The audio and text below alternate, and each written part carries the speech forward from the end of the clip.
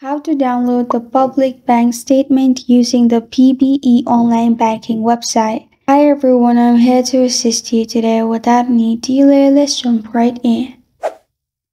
First, open Chrome and search PBE online banking website.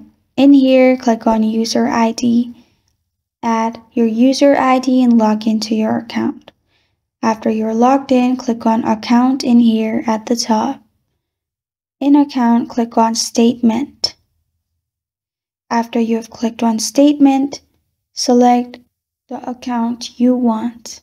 After you've done that, you'll find all the statement. Simply click on the statement and you will be able to download your statement in this way. This is how to download the public bank statement using the PBE online banking website.